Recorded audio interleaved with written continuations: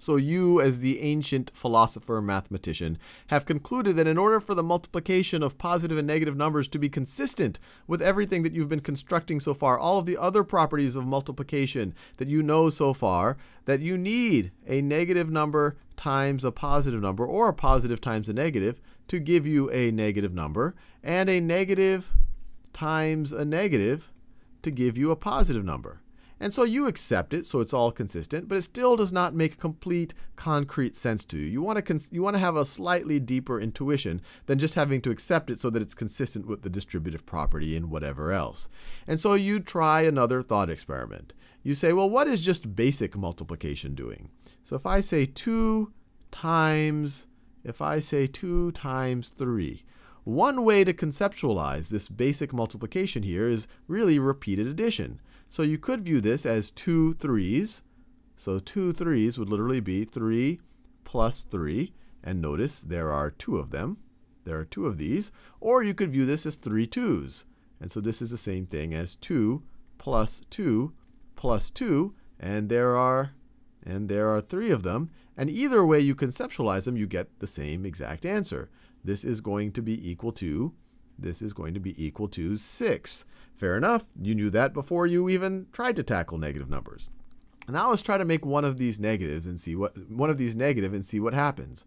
Let's do 2 2 times 2 times negative 3. And I'm going to make the negative in a different color. 2 times negative 2 times negative 3.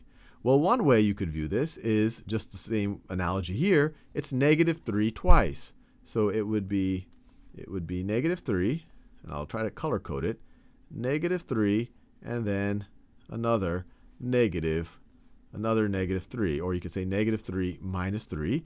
Or, and now this is the interesting thing, instead of over here, since it said 2 times positive 3, you added 2 3 times. But since here it's 2 times negative 3, you could also imagine that you're going to subtract 2 three times. So instead of, and up here I could have writ literally written plus 2 plus 2 plus 2 because this is a positive 3 right over here. All of a sudden, since we're dealing with a negative 3, we could imagine that this is subtracting 2 three times. So this would be su subtracting 2, subtracting 2, mind another, subtract another 2 right over here, subtract another 2, and then you subtract another 2, another 2 right over there. And let me color code it, make sure I don't get the colors messed up. And you have another 2 right over there. And notice, you did it, once again, you did it three times. You did it three times. So this was a negative 3. Essentially, you are subtracting 2 three times. And either way you conceptualize it right over here, you are going to get negative 6. You are going to get negative 6 as the answer. Now, so you're already starting to feel good about this part right over here. Negative times a positive, uh, negative times a positive, or a positive times a negative give you a negative. Now let's take to the really unintuitive one. A negative times a negative, all of a sudden the negatives kind of cancel out and give you a positive. Why is that the case? Well, we can just build from this example right over here. Let's say that we had, let's say that we had negative 2. Let's say that we had negative 2.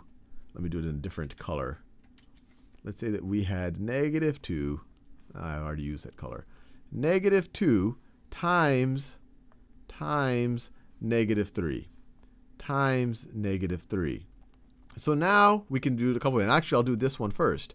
We're still multiplying something by negative 3. So we're going to repeatedly subtract that thing three times, whatever that thing is. But now that thing isn't a positive 2. That thing that we're going to subtract three times is a negative 2. So let me make it clear. This says we're going to subtract something three times. We're going to subtract something three times. So subtracting something, subtracting something, subtracting something three times. That's what this part right over here tells us. And we're going to do this, we're going to do it exactly three times. Over here was a positive 2 that we subtracted three times. Now we're going to do a negative 2. Now we're going to do a negative 2. And we know from subtracting negative numbers, we've already built this intuition that subtracting a negative is the same thing. It's like taking, it's like taking away someone's debt. It's, like, it's the same thing as adding a positive. And so this is going to be the same thing as 2 plus 2 plus 2, which will once again give you once again give you positive 6. You can use the same logic over here. Now, instead of adding negative 3 twice, and really I could have written this as, I could have written this as negative 3, up in this example, negative 3, let me write it this way, negative 3, negative 3, and we added it, we added it, and I'll write a plus out here to make it clear. Over here, we added it twice. We added negative 3 two times. Over here, since we now have a negative 2, we're going to subtract negative 3 twice. So we're going to subtract something, and we're going to subtract something again, and that something is going to be our negative 3.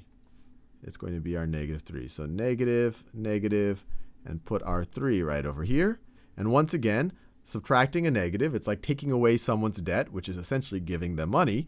You're going, this is the same thing as adding 3 plus 3, which is once again 6. So now you as the ancient philosopher feel pretty good. Not only is this all consistent with all of the mathematics you know, the distributive property, the associative property, multiplying something times zero, all of these things that you already know, it now actually makes conceptual sense to you. That this actually is very consistent with your notion, your original notion, or one of the possible notions of multiplication, which is as repeated addition.